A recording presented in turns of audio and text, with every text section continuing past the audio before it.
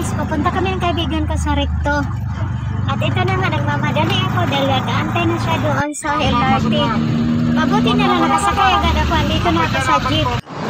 Sa wakas, nakarating na rin ako sa asakay namin na magkikita sa LRT. Medyo may kalayuan kasi sa amin ng LRT. Kaya mas nauna ang kaibigan ko doon.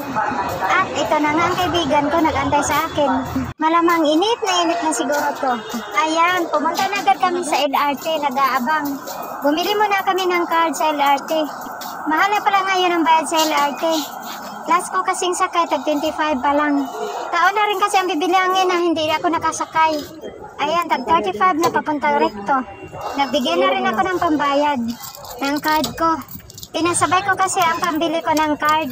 Mabilis lang kasi ang biyahe pag mag-LRT kumpara sa mag-commute. Ihuhulog ko na lang pala ang coins. Mas madali kasi pag coins. At ayan na guys. Mas mahirap kasi pag papel na pera. Kaya mabuti na lang may barya kami.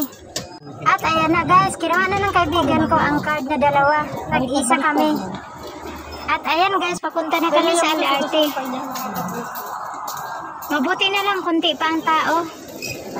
Papunta muna pala kami sa taas. Kung saan naruroan ang LRT. Sabi mo masarap? Oo. Ayan Sarap kasi guys, yun eh. paakit na kami.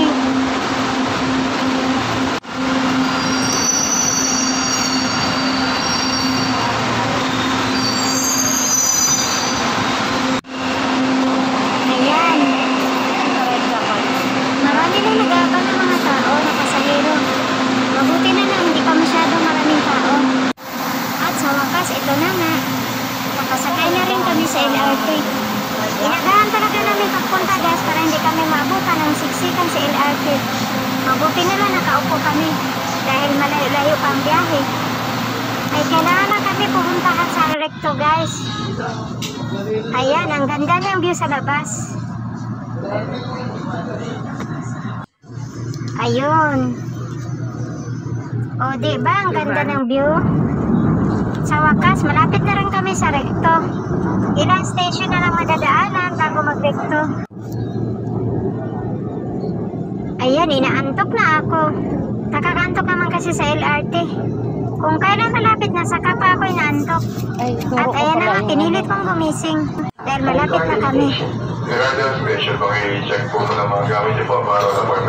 Yan, malapit na kami bumaba guys. At ayan, bumaba na kami guys. Nakarating na rin kami ng recto. Di ba ang bilis? Kung na-commute kami, di pa siguro kami nakarating. Hey, salamat. Nandito na rin kami sa recto. Dumating na rin kami agad. Nga pala guys, please follow my FB page and subscribe my YouTube channel. Thank you for watching. Ingat po kayo lahat. Bye!